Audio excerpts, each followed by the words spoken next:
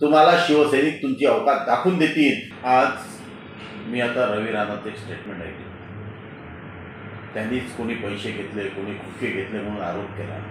त्यांनीच ते काय त्याचं सेटलमेंट काय झालं ते सेटलमेंट केलं. फडणवीस म्हणतात की मी फोन केला म्हणून बच्चू कडू गेले. बच्चू कडूच्या बाबतीत तर आमच्या जिल्ह्यात अत्यंत आदर आहे. बच्चू कडू हा एक कार्यकर्ता आहे. आणि लोकां जनतेसाठी भांडतो. आणि ब तेच राणांनी सांगितलं की बच्चू कडूंनी पन्नास खोकी घेतले आणि म्हणून तो तिथे गेला प्रत्येक कामात पैसे घेतो. हे ते बदलाबी राणांनी केली. आणि राणाजवळ काही पुरावे असतील तेव्हाच राणांनी केली ना. आणि आज राणा पुन्हा पलटला आणि हा राणा आता म्हणतो की नाही आता बच्चू कडूनही घेतली नाही. अरे जुना धंदा तुझा होता एक प्लॉट दहा लोकांना विकलेला आहे तू. आणि हा धंदा तुझा आता पुन्हा चालू केला ठेवला तू. याला बदनाम करा त्याला बदनाम करा बच्चू कडूला बदनाम करा.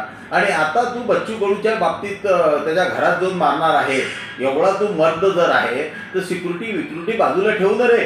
कशाला तू ह्या गोष्टी करतो? पोलीस सिक्युरिटी घ्यायची आणि कोणालाही मारायची धवस द्यायची. आणि त्यात बोलता बोलता तू एकदम नालायक माणसासारखा बोलला की उद्धव ठाकरेची बरोबरी तू जीवनात करू शकत नाही.